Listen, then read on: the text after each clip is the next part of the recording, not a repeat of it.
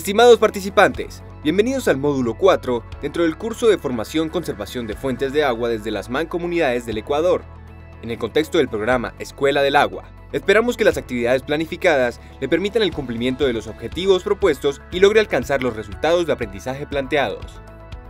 Los sistemas de información geográfica se han convertido en una herramienta esencial para la generación y manejo de información espacial destinada al adecuado manejo del territorio.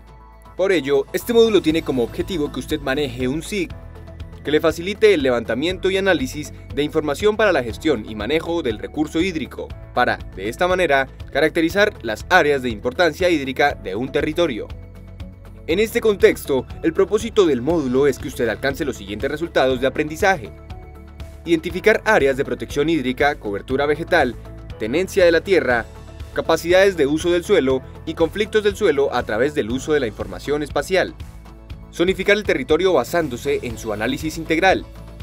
Determinar zonas con potencial para ser conservadas en las áreas de interés hídrico. Para esto hemos organizado los contenidos del módulo en tres unidades.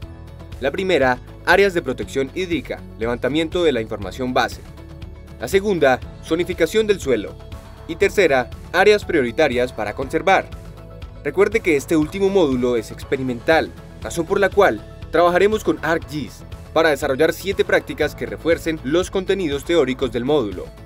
Para realizar estas actividades usted deberá seguir tutoriales que le muestran paso a paso cómo obtener productos finales, que constituyen una herramienta esencial para la gestión del recurso hídrico.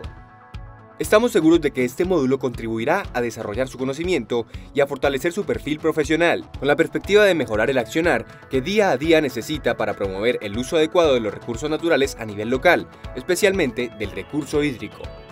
Le invitamos a participar activamente en todas las actividades que se han planificado y le auguramos muchos éxitos.